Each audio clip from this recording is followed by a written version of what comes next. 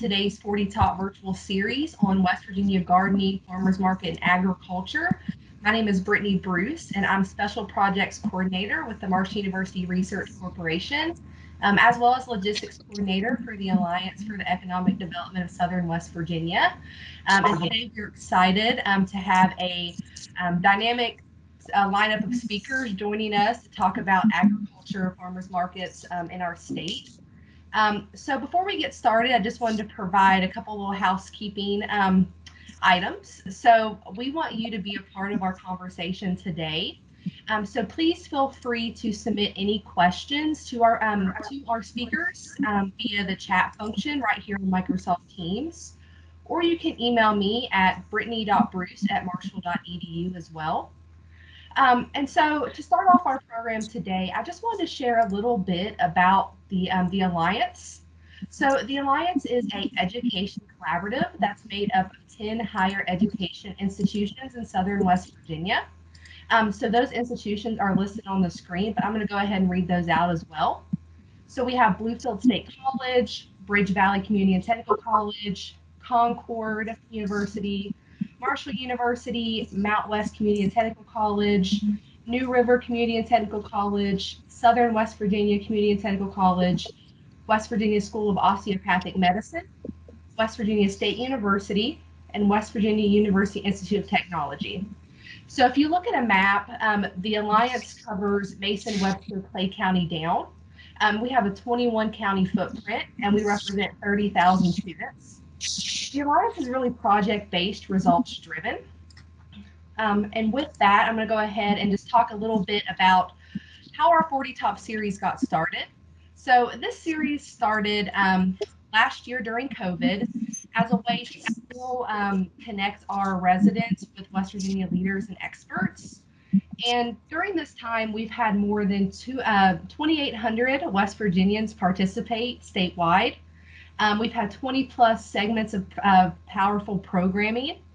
Um, we have had 50 plus experts um, participate in roundtable discussions as well as interviews. Um, and if you um, would like to check out any of our past sessions, those are all available on our website at marshall.edu slash AEDSWV. And if there's a topic that you would like to see discussed on a future 40 Top, please email us at wvsolutions at marshall.edu. We'd love to have any, any additional suggestions. Um, and then I just want to talk about a few of the um, projects of the Alliance. So we have our Small Communities Big Solutions Conference that my colleague Sarah will talk a little bit about here in a few minutes. Um, and then we have um, our Power of Performance Awards as well as well as our uh, West Virginia Solution Seekers Student Leadership Conference. Um, and this conference, um, we started this last year, and this was open to high school juniors, seniors, as well as college and training students. Um, and this was a one-day virtual conference where students um, participated, learned a little bit about resources and opportunities available in our state.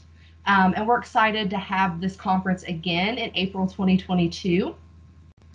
Um, and then we also gave away a couple student scholarships um, of $250 um, to students who are show show some um, leadership qualities and are really creating positive change in their community or maybe their school or just their state. Um, so we were excited to get be able to give those away this year. Um, and then we also have four working groups in the Alliance. We have entrepreneurship, tourism, workforce, um, and addiction and recovery. And within the addiction and recovery, we have our West Virginia Collegiate Recovery Network. Um, and this is really um, a program that provides support services to students, faculty, and staff that are in recovery, seeking recovery, or maybe just impacted by someone else's use. Um, and that is actively on seven campuses and universities in Southern West Virginia. And we also partner with many other organizations and institutions statewide. And so here is our Power of Performance um, Awards. And the nomination process is now open. Um, and so if you know an individual or an employer or an organization um, that is doing something remarkable in Southern West Virginia, then we encourage you to nominate them for this award. Um, we give out two awards um, within three different categories. So we have revitalizing communities, changing lives, and putting people to work. Um, so if you want to head over to our website at wvsolutions.net, um, the nomination form is there. It's really quick, takes about five minutes to complete. Um, and so with that, I'm going to go ahead and toss it over to my colleague Sarah to talk a little bit more about the Small Communities Big Solutions Conference. Thanks so much, Brittany. And that was a great rundown for the Alliance. We're pretty proud of our Higher Education Collaborative taking on various projects. And one of the signature projects that we do every year is Small Communities Big Solutions Conference. And it's November. Please save the date, November 15th through the 18th. It will be virtual. Last year we had 80 speakers, jam packed programming throughout the week and uh, we had uh, state and national speakers and we are busy putting together a powerful program for you again this year. Agriculture will be visited this year uh, during our conference. And so we'll be working with the commissioner's office and his team as well as other experts to um, pull something together that is uh, is top notch so please save the date. We hope to see you there. And uh, without further ado let's get our program started today. I'm really excited about this. My myself grew up in putnam county. I had aunt virgie and she owned virgie's Payne's Produce in Winfield.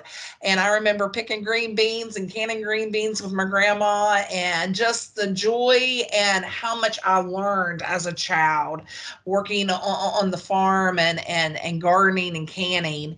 And, um, and obviously the COVID pandemic, uh, COVID-19 pandemic has presented some challenges along the way.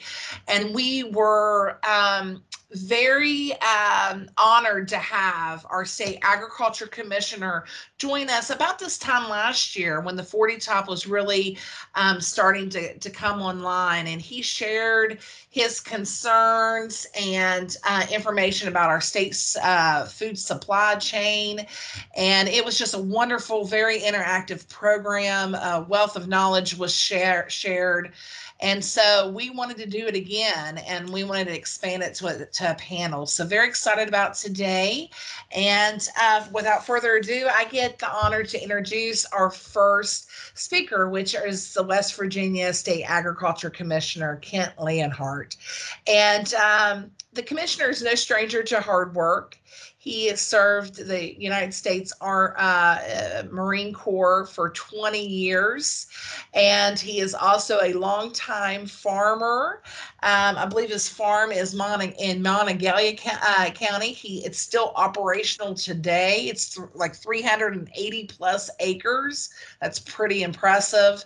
And uh, and if that wasn't enough, he, as agriculture commissioner, he and his state at state staff travel uh, the mountain state, meeting with farmers, um, doing very important testing, and I'll let him share more about the day in and day out operations. But he has a fabulous team. They're very accessible, and uh, I believe that they're doing a great job. So, Commissioner, thank you so much for joining us today on 40 Top, and uh, we, we would love to hear from you. You know, despite technical challenges, you know, we all saw a lot of challenges over the last uh, over the last year, and the Department of Agriculture was no uh, was no different. And and I've got to give a shout out and uh, you know, one of my team members, uh, division directors you heard from, you know, covering very well for me was Casey Bowden and her team did a great job during this, uh, during the pandemic year, helping coordinate an awful lot of things, but I've got to give the department credit. They, uh, they kept working right through the whole pandemic. You know, we didn't have to dump any milk, uh, like other state raw milk, like other states did. In fact, I worked with the governor's office and we brought more raw milk in so that we could get it onto the grocery store shelves. Uh, we ended up increasing our meat inspection, so our meat supplies uh, weren't, uh, you know, we got strained. Our, our local meat processing facilities were strained, but we still kept more meat on the shelves than our surrounding states. So a lot of work was done by a lot of great folks out in the field, and I'm very proud of them, and I give a, every chance I get publicly to thank them for what they did, because, you know, our food system, as we talked about, uh, last year on the top forty was, is a very fragile system. And we take for granted eating from a safe, affordable and abundant food supply. But then when something hap- happens that comes along, uh, and that chain gets broken, and we saw it again recently, you know, some fears, uh, cropping up with the, uh, cyber attack on the largest meat processing, uh, company around the world. So, uh, we're okay in West Virginia, we're doing good. Uh, but we want to make sure that we stay vigilant on everything that we're doing. Uh, and it's very, uh, it's very challenging. So, uh, the folks out there in the field, they're the workhorses. They're doing a, uh, a marvelous job. But, uh, well, as we moved along, but even during this time frame, you know, we, we kept things going. We published a farmer's market vendor guide and provided ongoing technical assistance to everybody, to as many folks as we could. We published a COVID-19 impact guidance for farmers markets so we could keep the farmers markets open. And we had a lot of lessons learned during that time. uh, and that we were able to translate into the legislative process this last legislative session. Actually turning more and more market, farmer market authority over to the Department of Agriculture. So that we could have a single voice so that a farmer could go from market to market in different counties and understand what was going on and not have to apply to different rules in different places. So we're trying to make those things easier so that our farmers can expand their markets uh, within the state. Uh, we published a local food guide, uh, and that's where we know what uh, local foods were available. Uh, this is all very dynamic and it's changing, and we're working very hard on uh, getting that word out to everybody on what the, uh, what's available to folks. You know, we all know that the shorter the food supply chain is from growing to consumption, the safer it is. And we want to make sure that we keep that chain. You know, we all, the most recent outbreak was the romaine lettuce out in, in, in California. And, uh, you know, that, you know, fortunately, there's good uh, Food Safety Modernization Act that can do a, uh, a link back to where the source of the infection was. But our whole goal is to reduce those infections and to keep our citizens safe. And that's part of what the Department of Agriculture does. We're a regulatory agency, but we're also here to help the farmer to make sure that when they sell a product, it's wholesome and safe to the consumer at the same time. And we've tried to streamline those, and we're here to actually educate before we actually regulate, even though a lot of the regulations come from the federal government. And there's not, that's nothing we can do about that, but we want to make sure that we're helping uh, our farmers meet those regulations as need, as need be. Uh, since I mentioned dairy and not dumping milk, I've got to make a, invite everybody to dairy night at the Power Park in Charleston, June 17th. The first pitch is going to be at 7 PM. Going to be a lot of activities to include cow milking and everything else. It'd be a great family night, but June is dairy month, so we're promoting our, our dairy products in the state. So I want to want to make sure we know about that. But also during this time, we put out 28 homesteading series, much like you're doing here, uh, educating the public on various topics of interest. And I'm and Casey, I know she's listening, and I'm going to ask her to put up on the team schedules the link to those series, so people can go down, scroll down and, and see what topics might be of interest to them. And they can go ahead and view those topics, because there are way more than I can cover here, uh, in this short period of time. Uh, Senior Farmers Market Nutrition Program, I was asked to speak about that a little bit. Uh, It's gonna launch a little bit later than usual this year, but it's gonna happen. We've had some uh, national technical difficulties. We're not the only state having that. We're working through that, and we hope to have uh, that program launched very soon.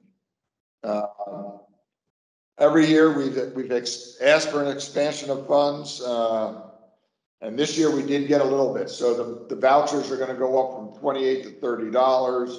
And they're in very small dollar increments because you're not allowed to get change back from that. So the seniors love using multiple markets and giving them extra trips. So two dollars might not sound like a lot, but that might be two more trips to the farmer's market for a senior. And that's good for the senior, and that's also good for West Virginia farmers.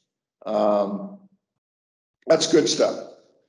And we know we want to see improvements in the program, and fortunately, I sit on a national level uh, with this, uh, as a member of the National Association of State Departments of Agriculture, and uh, this coming weekend, I'll take over as president of the Southern Association of State Departments of Agriculture. So we'll be making sure that's a, a topic of issue to go to the national level to make these programs more flexible and easier to use and uh, uh, for the citizens, not only of West Virginia, but nationally as well. SNAP Stretch, that's administered by DHHR. It's been a great program. Uh, during the COVID, SNAP Stretch is also been administered by them. You have to apply to, the seniors have to apply for it. But the good news is, I talked with the governor last year they went through the SNAP stretch money very early on, and it was worked through the West Virginia Farm, Food and Farm Coalition. We were able to get from the governor another hundred thousand dollars, and that was all consumed and used by the, uh, by the farmers. Uh, How many people did we have participate here? We had thirty-eight markets and twenty-five counties participated in the program.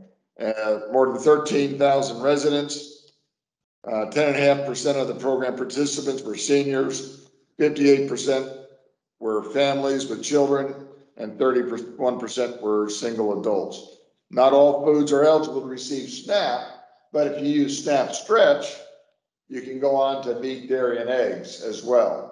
So that's a good thing. SNAP is normally for fresh fruits and vegetables. SNAP Stretch allows you to go a little bit further. Uh, uh, we submitted an application through Commerce uh, West Virginia Commerce, Division of Commerce for another two hundred thousand dollars to support that program. And hopefully that will come through. Uh, Farm, Farm Bill, uh, we combined a lot of our chapter nineteen, which is what regulates the Department of Agriculture into one bill. Made it easier for the legislature rather than tracking twelve bills, they tracked one bill. Uh, so we reduced the paperwork and increased the efficiency of government, but we got a lot of great things done uh, during that time.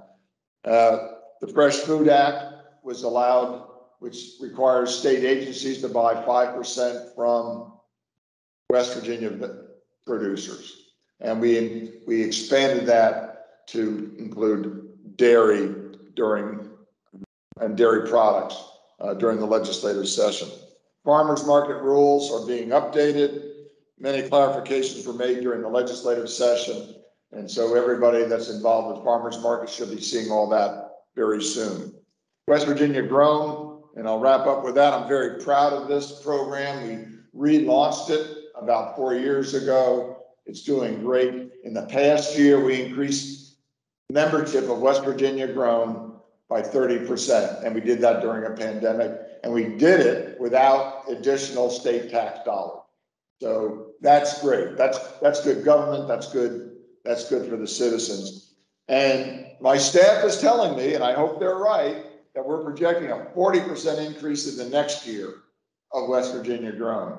So let's, let's see if we can all work together and beat that 40% and get it to around 45 or 50% increase. But uh, again, I go around the state I encourage the people to get to know their farmer. That's how you know your food. And I encourage people to keep that supply chain short, buy from a West Virginia farmer. And if I go into a group and people say the farmers markets are too expensive and stuff, I'll ask the audience and I'll say, has anybody here bought a head of lettuce at a grocery store and not finished it? And invariably, every hand will go up. And I said, well, maybe if you bought the head of lettuce from a West Virginia farmer that wasn't two weeks old when it hit the shelf and you got to finish, maybe you didn't pay too much for that product, not to mention the increased nutritional value. So that's my last uh, line on that. And uh, I'll turn it back over to uh, Sarah Brittany and uh, I'll stand ready for questions whenever that time comes. Wonderful. Thank you so much, Commissioner. And we do have a few questions coming in. And just a reminder, if you have a question, if you want to be part of today's conversation, you can write your uh, question in the chat section and we'd be happy to try to get to them today. So I'll turn it back over to Brittany, who will introduce um, our next speaker. Thanks so much, Sarah. Um, our next speaker today is Erica Gallimore, and she is project coordinator with the West Virginia Farm Farmers Market Association. So Erica, I'm going to go ahead and turn it over to you. I'm going to pull up your PowerPoint presentation here.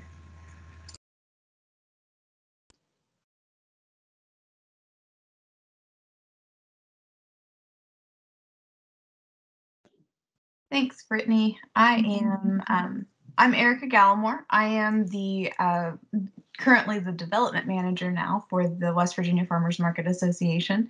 It's a recent change uh, in my job title, so um, I won't hold that against you, Brittany. Um, I am here today to talk about uh, my association and uh, the opportunities and resources that we have for farmers markets and producers in 2021, uh, and some of the things that uh, we've found as a result of the pandemic. So um, we can go ahead and go to the next slide.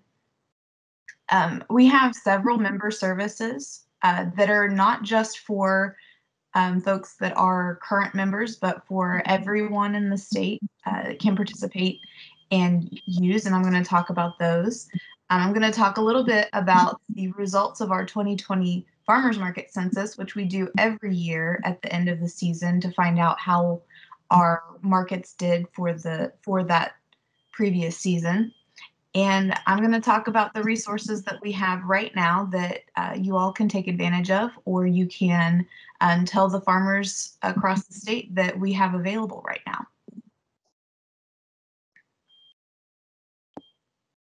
So right now, um, you can sign up to be a member with us and register your farmer's market or farm with USDA the West Virginia Department of Agriculture and Farm Fresh WV all in one really quick and easy application on our website.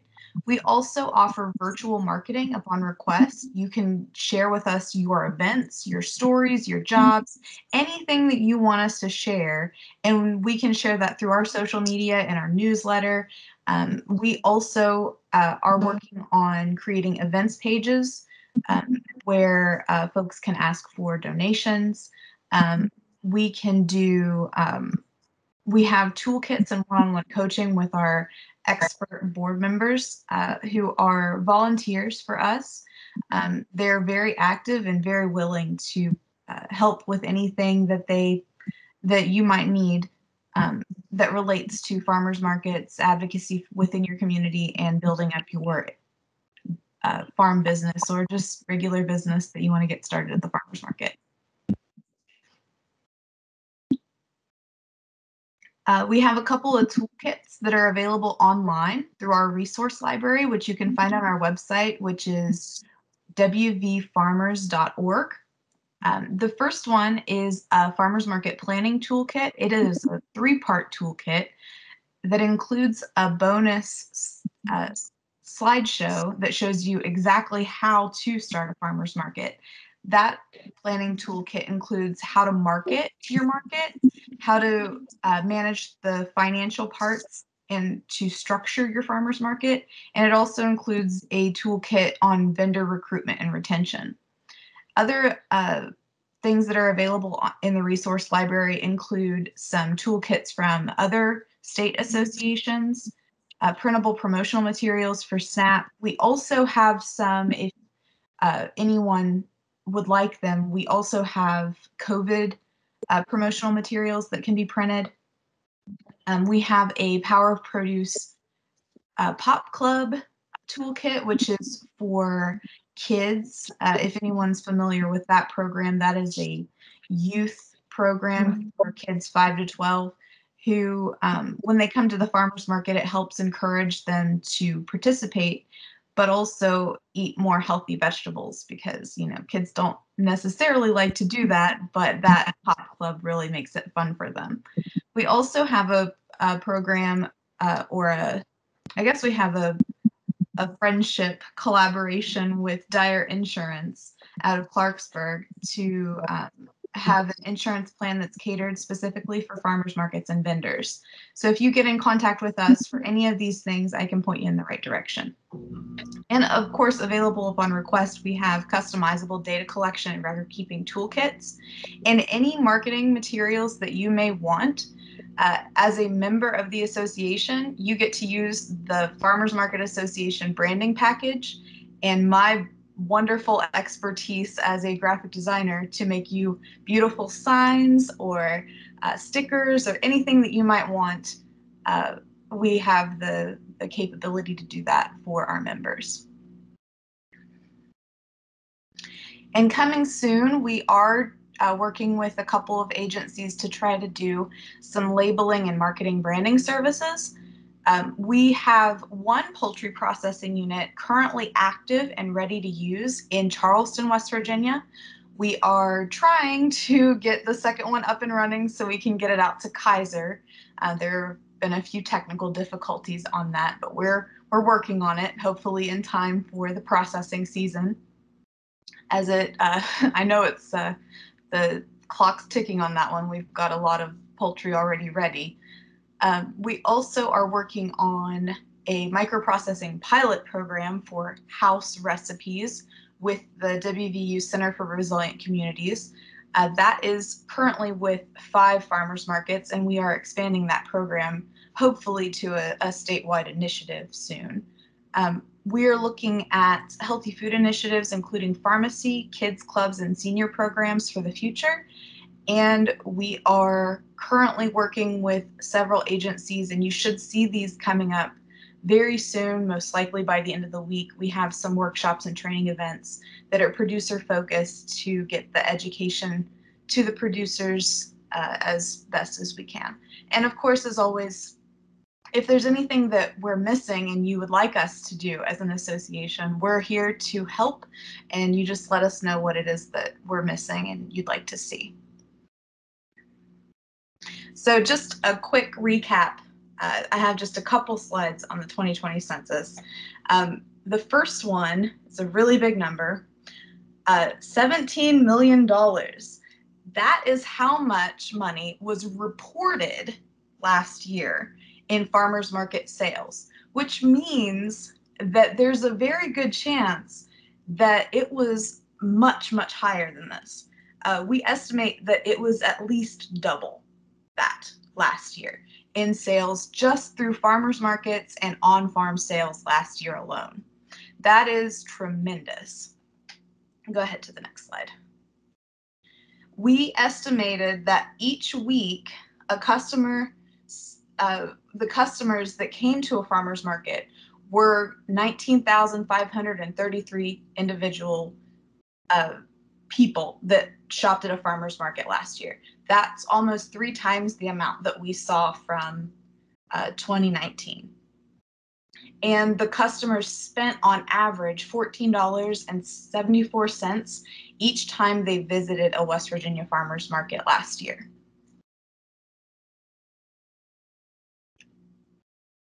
So right now we have some opportunities for farmers markets this year. Um, and uh, go ahead and go to the next slide. Um, thanks to our partners at Claude Worthington Benedum Foundation, we have funding available to support uh, communications and e-commerce platforms. We also have, um, we, we no longer have any stipends available for farmers market managers to develop the rapid market assessments, but we are open to including more farmers markets in our peer network to make this more uh, a more um, robust program. These rapid market assessments are going to be for the markets and we're going to cater them for the individual markets as needed as best as we can. So as we are developing these, the more input, the better. Uh, we also have some mini grants to support sanitation stations. Um, we are in the process of getting more funding for that. Uh, so um, if your farmer's market or on-farm market needs some kind of portable wash station or something like that uh, to help uh, provide sampling or um, just to be more COVID conscious, let me know and I will um, try to get you in on the list to get one of those sanitation stations. And uh, this is me. I am Erica Gallimore. Once again, I am the development manager for the West Virginia Farmers Market Association.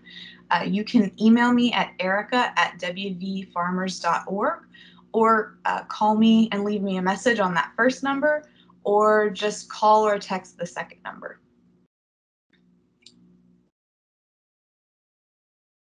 And that's all I have. So I'll let you have it, Brittany. Great, Erica. Thanks so much. We really appreciate that overview um, of some of the resources that are available. Um, next up, we have Matthew Thompson, and he is Director, Community Placemaking and Special Projects for the West Virginia Food and Farm Coalition. Good morning, Matthew. How are you? I'm doing well. How are you doing? I'm doing great. I'll go ahead and uh, turn it over to you. Um, so I wanted to thank the commissioner for already giving a great shout out to SnapStretch. Um, SnapStretch is a program that increases increases the buying power for SNAP recipients in West Virginia.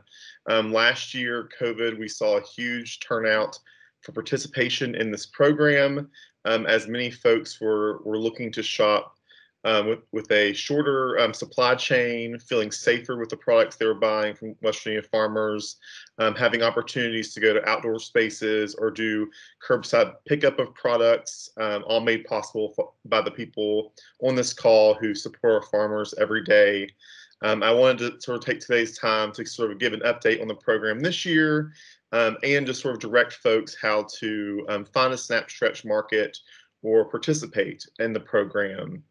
And so to be eligible, you can be a farmer's market, a roadside farm stand, or a local um, food retailer. Um, and you can visit um, snapstretch.com um, to learn more. You must already be accepting SNAP. And if you do not accept SNAP currently, um, we can help you through that process, process as it can be burdensome um, for some folks to apply to accept SNAP. But um, but once you can, um, the the process is very simple to do SnapStretch. Um, we have great partnerships with WVU Extension to get marketing materials to your site um, and to help you implement the program. Um, SnapStretch, we've seen um, so many great testimonials from families who said if it wasn't for the program, they may go hungry um, throughout the year. Uh, many folks use this as an opportunity to purchase more products to then can for, for the later winter months um, and just make their dollars um, go even further. Um, so regular adults, um, we they get a one-to-one match on their SNAP EBT um, purchases. So they'll swipe, typically swipe their SNAP card like they would a debit card um, and say they get $20 of SNAP EBT.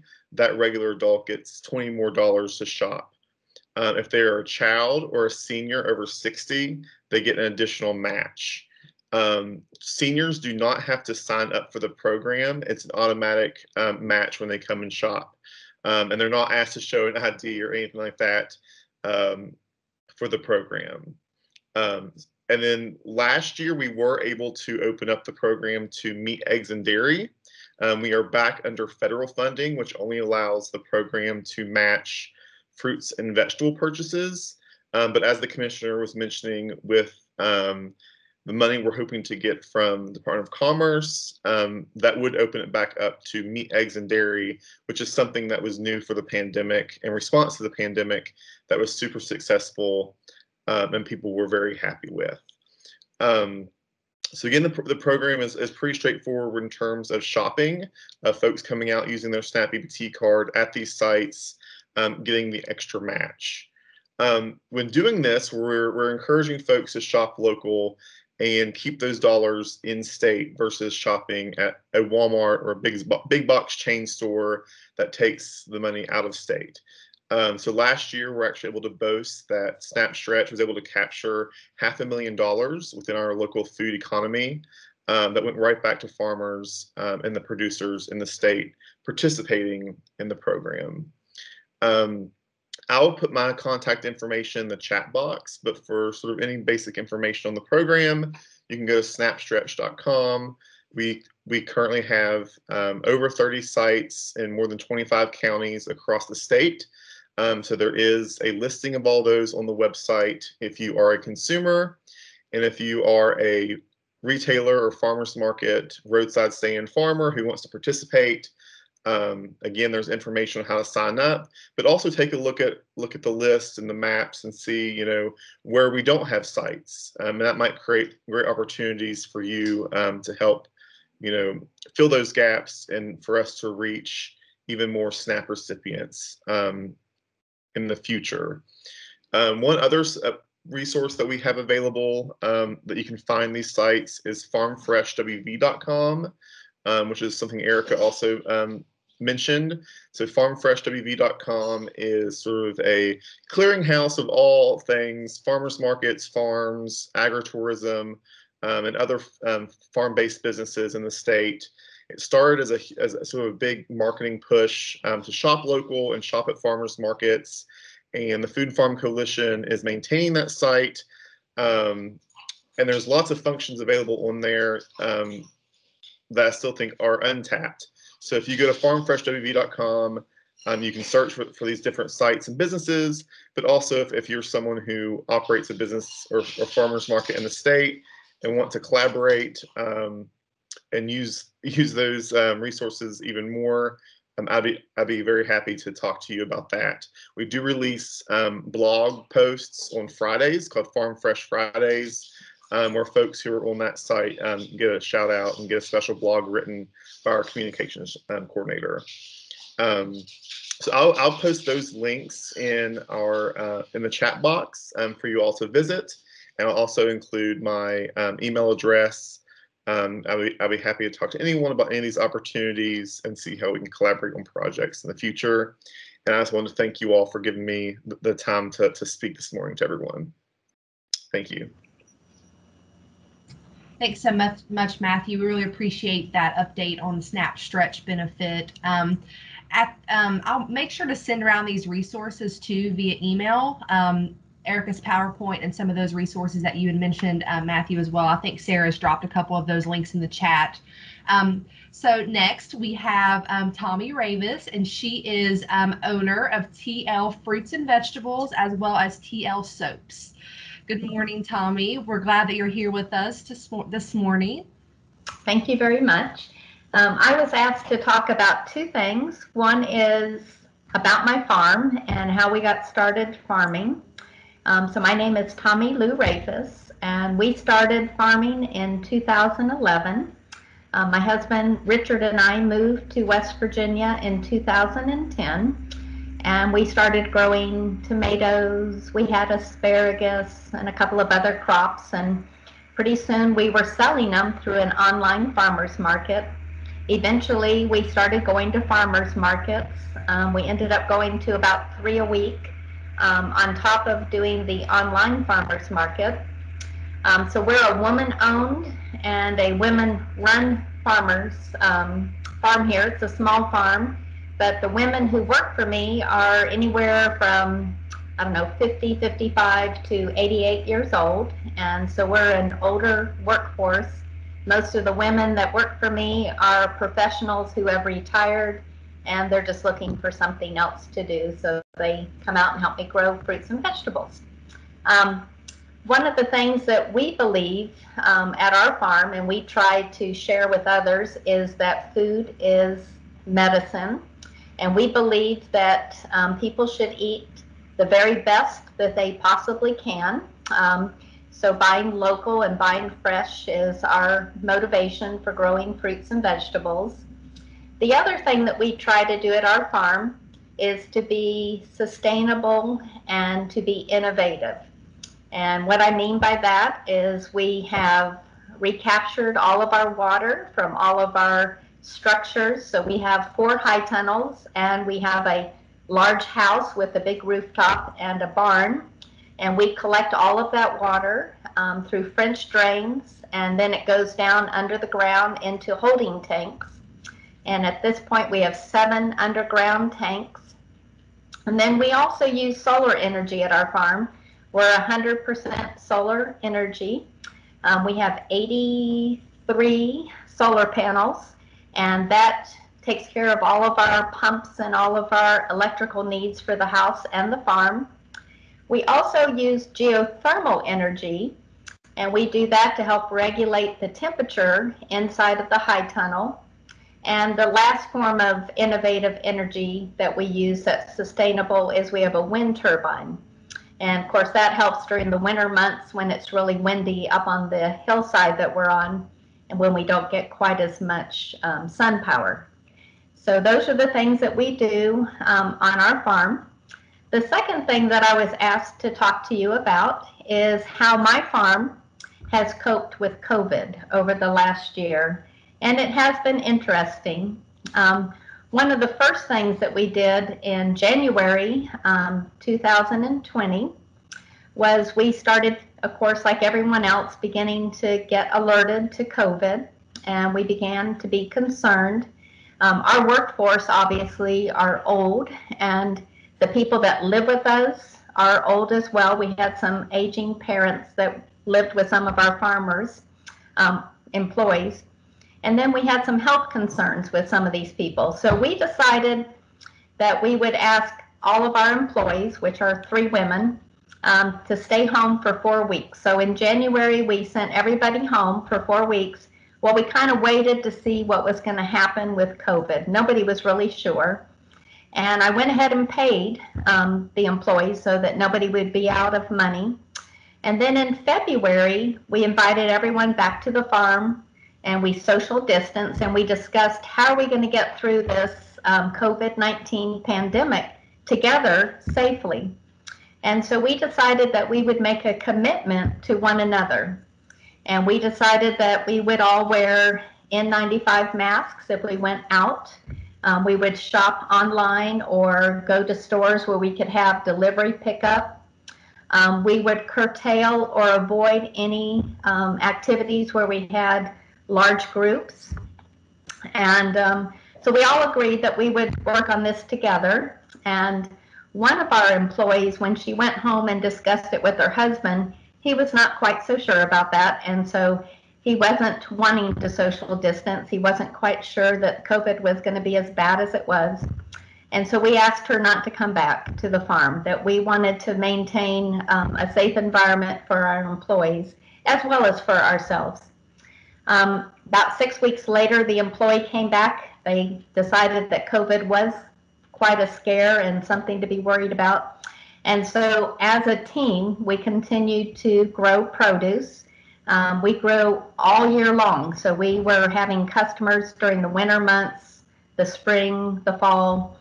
And the way we sold our produce was through a CSA.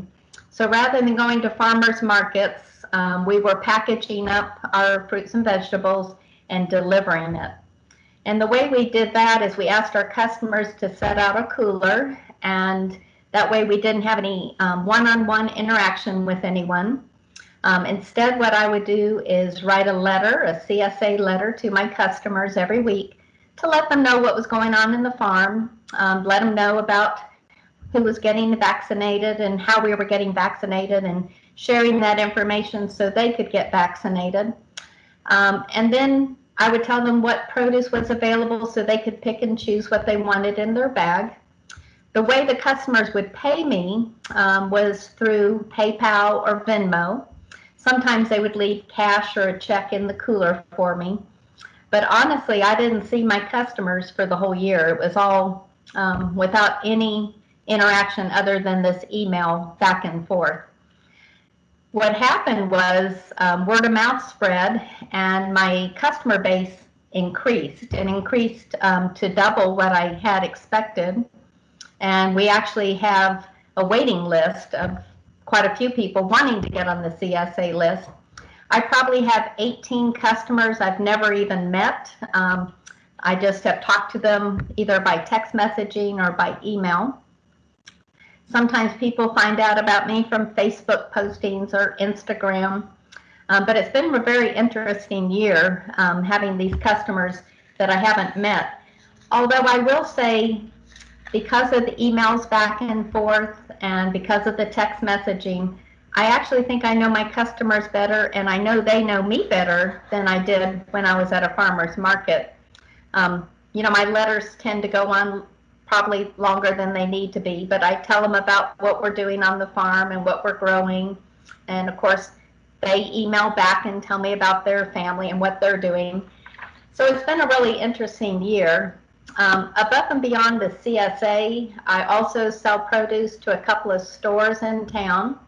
Again, I deliver it um, without having to interact with anybody. Um, I also participated in two programs that took place in Greenbrier County. Um, one was that our senior centers weren't able to open up and feed the seniors like they had in the past. So a local attorney um, found some funding and she put together and organized a program where she bought local produce from farmers and prepared boxes of fresh produce and then they delivered it to the homes where these seniors lived. And that was a really great program, and I was happy to participate in that. Other than that, we also had a pharmacy program spelled F A R M A C Y. And again, they bought local produce. Um, they targeted diabetic patients. I think they had 30. And those patients, I believe, had to go to the clinic or to their doctor's office to pick up their produce and that was run through the WVU Extension Office. Um, I participated in a couple of kids' pop up markets um, at schools, and the kids all wore masks. We all wore masks, and um, I found it really interesting what kids would choose and pick for their vegetables. Um, FYI, collard greens is all the phase right now. Apparently, it's the size of the leaf that's pretty exciting. Um, but collard greens, strawberries, obviously, microgreens were exciting, carrots, um, tomato plants, um, asparagus. It, it, was interesting what kids would choose to take home.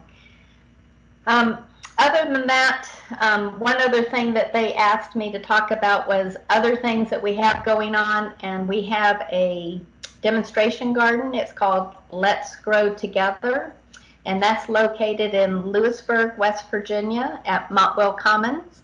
And we invite the community to come in and to learn. Every Saturday, I teach a lesson on a different gardening technique. And during COVID, that was a little um, much of a struggle because you didn't want to invite too many people in. Um, but we opened it up to people that wore masks, and we had quite a few of the students from WVSOM that came. And we grew vegetables and fruits together at the demonstration garden. That was that was pretty exciting. So I appreciate being a part of this, and I'm happy to answer any questions. Thanks so much, Tommye. It was really great to to hear the ways that you were able to stay operational during COVID. That that was that's really awesome. Um, so we did have a couple some uh, questions submitted, and just a reminder, if you have a question for any of our speakers today, please feel free to drop that in the chat. Um, so the first question that I have um, that was submitted is, let me see here, um, for Matthew. Um, with the um, the PEBT cards that um, families are receiving for their children, um, are they able to use utilize that for the SNAP stretch benefit as well, or? Yes, I'm glad you brought that up because as soon as I was done, I was like, I did not touch on PBT, and it's something you had sent previously. yes, we do recognize PEBT um, as as SNAP EBT, and so that actually is one of the reasons as well. Last year really blew up so much, and we we did require um, the Department of Ag and the Commissioner's support with with additional funding. Was that we had all these new new participants with the PBT cards who previously would not have participated. So this year, again, with the PBT cards being available, they can absolutely use those at participating sites. Great, thank you so much for that. Um, and then also have a um, question for the commissioner, um, if he's still on with us. I think he is. Um, so with the state and local COVID funding, um, is there funding carved out for the agriculture sector or is it lumped in with small business funding? Right now, they're still, uh, the legislature is still discussing how they're gonna work this and the governor's office on how that's gonna be working out. I imagine a lot of it, since these are businesses and it's an agribusiness, I imagine it's gonna end up being uh, lumped in together with, with everybody out. But obviously, I'm gonna be in there, uh, swinging and pitching for the, uh, for the farmer uh, in some of that funding. So we're working with a few folks on that as well. Uh, but that new funding has yet to come out. The other dollars are already accounted for, and that was all separated. Uh, the new dollars is what I'm talking about now. Okay.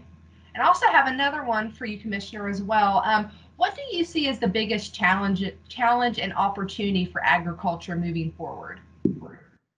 Well, one of the biggest challenges that I've seen all along is that you know we have a lot of people in agriculture doing things that the way their father did it, their grandfather and their great grandfather did it, and uh, you know agriculture is evolving, and you know the challenge that I talked about earlier was shortening that supply chain and making sure it's safe and affordable and abundant for the citizens of West Virginia. So we got to make sure that our supply chain is uh, not as fragile as we've seen it. So that's one of the, the things that we're really working on. But you also have to remember, you have a lot of citizens and farmers in the state that want to do things the old way. So the challenge is how do you keep the old way of doing business and usher in the new? And that's one of the biggest challenges that we have at the department. And I think we're going to continue to have that going forward. But it's an education process, just like what you're doing here, just like our homesteading series, uh, how we educate the public. You know, and farming also is a, a lot of hard work. And, uh, you know, even the new ways of doing agriculture is hard work. And uh, the average age of a farmer in West Virginia is, is keep continues to creep. And that's not just in West Virginia, that's a national trend. So we have to make, find some way to entice the young folks in. I'm very proud of our FFA and 4-H programs in the state. Uh, we're hitting record numbers, even with a declining state population. That's a good sign that there's a bright future for agriculture uh, in West Virginia in the future. So we have to just keep promoting, you know, the benefits of eating locally. The farmers programs are expanding that Tommye talked about. Uh, great for her and the way she's been able to work with that down there. Uh, we've got them up in the northern part of the state. We've got them all over the state actually starting to flourish. And we're actually started, I've been working with uh, uh, Dr. Uh, Marsh, and we've been discussing how do we make sure that we improve the nutrition to all citizens in West Virginia. So we should be seeing more on that as time goes on, but we're working on it. Great, thank you so much. Um, and this next question can really be open to all of our speakers today, so just feel free to, to chime in. Um, uh, the Alliance does a small business leader survey, and we saw an increase in businesses using e-commerce and social media. I know that Tommye mentioned that. Um, in your all's experience, what advancements are you seeing be being made in regard to these two areas relating to agriculture?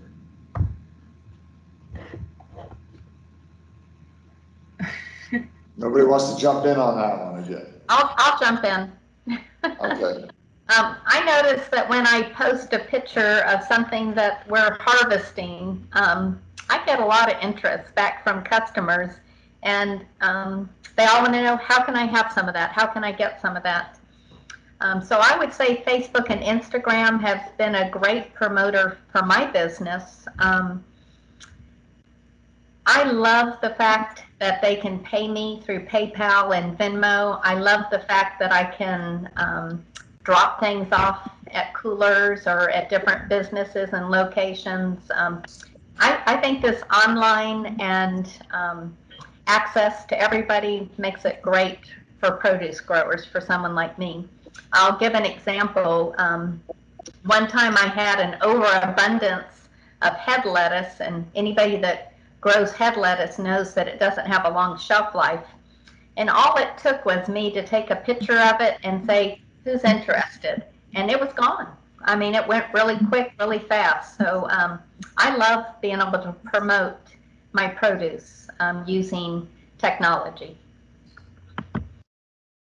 So um, that was one of the things, or one of the drivers in the association seeking funding for a technology fund. We saw an uptake in online farmers markets and online sales, and more folks were interested in uh, new technologies where in previous years they really weren't. So that's um, we saw that as a result of the pandemic because people were trying to be more uh, socially distant and um, conservative about who they were around. uh, so um, yeah, that that was uh, e-commerce went through the roof last year. Thanks so much. Anybody else? This goes to show how, I was just gonna say, it goes to show how important the whole broadband issue is for the state of West Virginia and our rural. I mean, it's how we bring back the small farm in West Virginia. Uh, so that they can, like Tommye said, connect with their customers. So, you know, we go out there and we promote that and, uh, every citizen really needs to get behind those initiatives and get it, get that last mile down to every, to everybody in West Virginia. You're gonna see some great results economically once we do that. Great, thanks so much. Yeah, that's a great point to bring up bring up as broadband. So thanks for for adding that, Commissioner. Um, I also had another question for you, Commissioner. Um, can you discuss the food supply chain and are there any success stories linking farmers to companies or institutions or organizations? I know Tommye talked a little bit about her work with um, uh, uh, West Virginia S- SOM. Um, so is there any other stories that you know of, Commissioner, like that?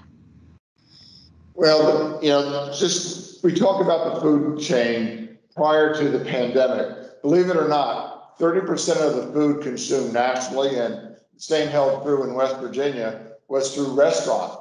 People ate out a lot.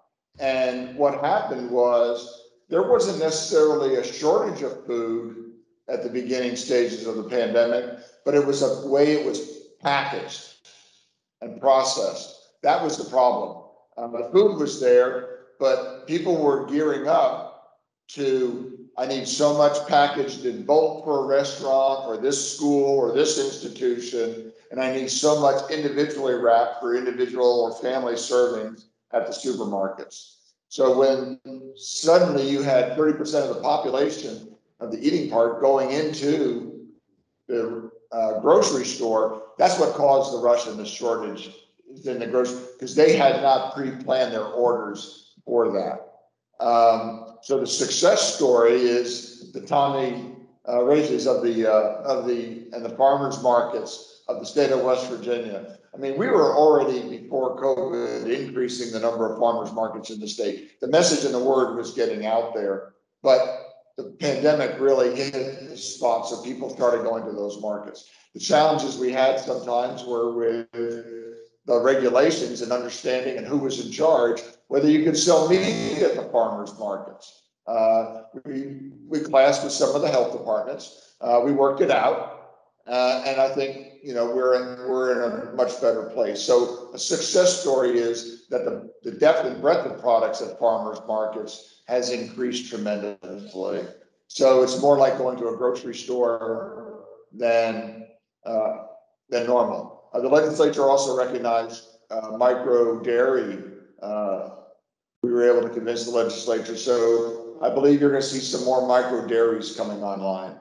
Uh, you've got one in Greenbrier County now that is just making cheese curds. So we have a new dairy farm in, in Greenbrier County and they're making cheese curds and some of that's going to some of the schools. So that's a West Virginia grown product that's going into the marketplace. Uh, the West Virginia farmer has been very adaptive uh, to this whole thing. Uh, and we need to give them all a shout out and, and people need to go thank the West Virginia farmer for, for all the work that they've done uh, over the past uh, year. But you're going to see more success stories and lessons learned. And we're here at the department. Uh, we're available to help and work with anybody that's, that has a great idea or wants to do something. Uh, we'll work with you. And uh, along with our partners, you know, at WVU and Marshall University and the other, and West Virginia State, these schools are doing some great work uh, as well, trying to improve the whole agricultural picture in the state of West Virginia. Great, thank you so much. Um, we have time for a couple more questions. I did see there was a question in the chat um, for recommendations um, on technology platforms um, to help track sales and calculate taxes, etc. Um, Tommye, Eric, I saw you all have been responding. Do you want to add anything else to that question?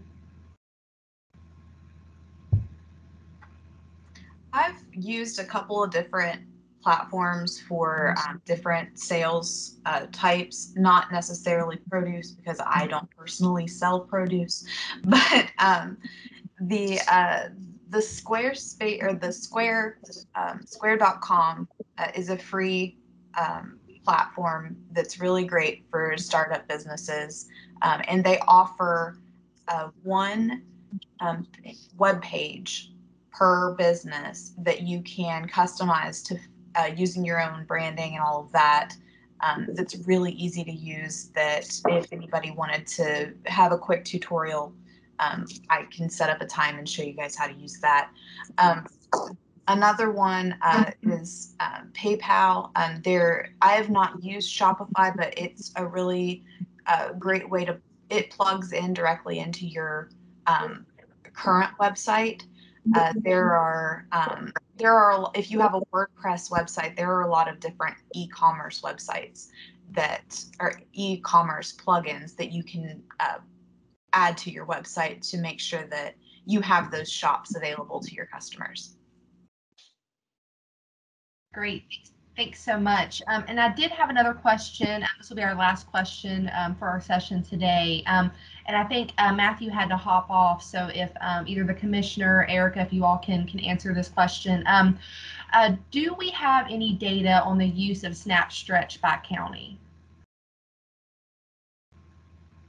I believe we have that, uh, that data. Uh, I don't have it right here, but I believe if you get hold of, uh, the Food and Farm Coalition, they should be able to, uh, provide that data. If not, give the Department of Agriculture a call and we'll see what we can do to, to get that to you.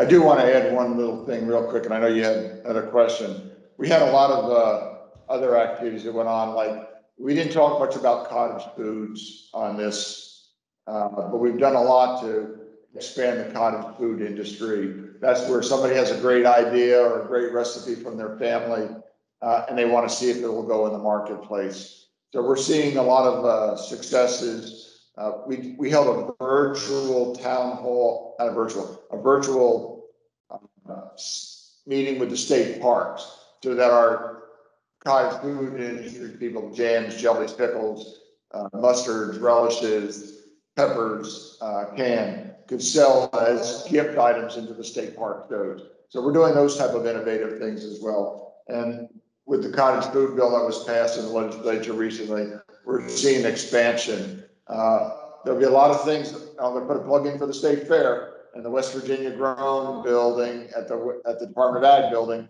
There'll be a lot of great West Virginia grown products that are, uh, that have been made by West Virginians, grown in West Virginia, uh, being sold there during the state fair, uh, later in August. So I gotta put a plug in for that.